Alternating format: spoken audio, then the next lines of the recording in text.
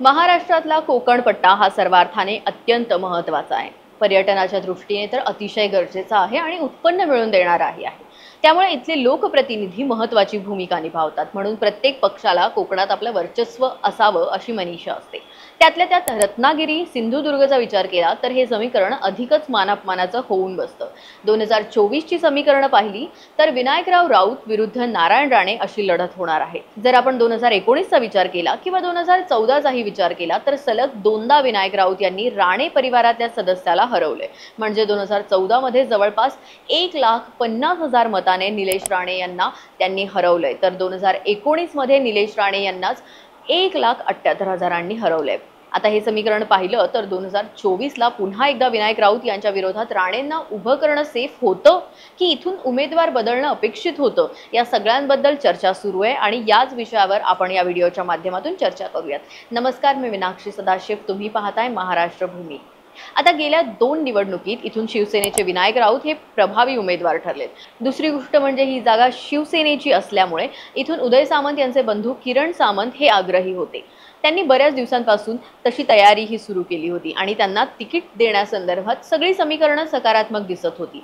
पण राज्यसभेच्या निवडणुका झाल्या नारायण राणे यांना संधी न देता अशोक चव्हाण यांना संधी मिळाली. आता साहजिकच त्यामुळे राणे यांना लोकसभेला संधी दिली गेली असं बोलल्या जात आहे पण यामुळे एक प्रश्न असा निर्माण होतो की शिवसेनेची हक्काची जागा नारायण राणे यांना देण्यापाठीमागचं नेमकं कारण काय होतं?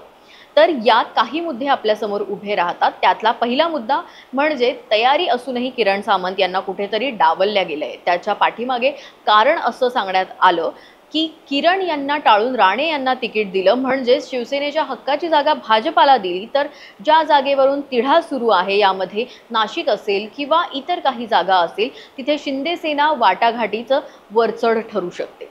म्हणजे की आम्ही आमच्या हक्काची जागा भाजपला दिली. आता इथली जागा आम्हाला मिळाली पाहिजे असं एक दबाव तंत्र ते वापरण्याची त्यांची खेळी असू शकते अशी चर्चा आहे. दुसरी गोष्ट म्हणजे जर आपण या मतदारसंघाचा इतिहास पाहिला तर इथे शिवसेनेचा प्रभाव दिसून येतो. त्यामध्ये ठाकरे गटाकडून विनायक राऊत तगडे उमेदवार आहेत. तसेच शिवसेनेत फूट पडल्यापासून विनायक राऊत यांनी मतदारसंघ आणखी जास्त मजबूत केलाय असं बोलल्या जात आहे कारण त्यांनी मतदारसंघातली सगळी समीकरणं आपल्या बाजूने वळवून घेतली आहे. इथल्या ग्रामीण भागाशी त्यांची नाळ नेहमीच घट्ट दिसून आली आहे आणि त्याचाच वापर ते पुन्हा एकदा दोन हजार चोवीसच्या निवडणुकीत करतील हे स्पष्ट दिसतंय. एकूणच काय? तर विनायक राऊत इथून हॅट्रिक करू शकतात ही संभावना लक्षात घेऊन आपला उमेदवार पडण्यापेक्षा भारतीय जनता पक्षाचा उमेदवार पडणं कधीही चांगलं ही भूमिका शिंदे यांनी घेतली असावी अशी चर्चा आहे. कारण राणे घराणे कधी कोणता पक्ष आणि कोणती भूमिका बदलेल हे निश्चित सांगता येत नाही. आणि उद्या चालून जर घडामोडी वेगळ्या झाल्या तर शिंदे विरोधातही ते उभे राहायला मागे पुढे पाहणार नाही. याची जाणीव शिंदे सेनेला असावी असाही तर्क जनता लावतीय हा तर्क लक्षात घेऊन शिंदेंनी नारायण राणे यांना पाडण्यासाठीच त्यांना संधी दिली असल्याचं बोलल्या जात आहे कारण एकदा जर नारायण राणे तिथून पडले तर त्याच राजकारणातून विशेष म्हणजे कोकणातून वर्चस्व संपून जाईल आणि अर्थात ते वर्चस्व पुन्हा एकदा शिवसेनेच्या म्हणजेच एकनाथ शिंदे यांच्या हातात येऊ शकतं. हीच गोष्ट त्यांनी उदय सामंत आणि त्यांच्या बंधूंना समजावून सांगितली असावी. म्हणजेच भविष्याचा विचार केला तर इथून नारायण राणे यांचा पत्ता कट करून तिथे शिंदे सेनेचा बोलबाला सुरू करायचा अशी खेळी यामध्ये असू शकते. आणि जर नारायण राणे जिंकून आलेच तर अर्थात ते केंद्रात राहतील.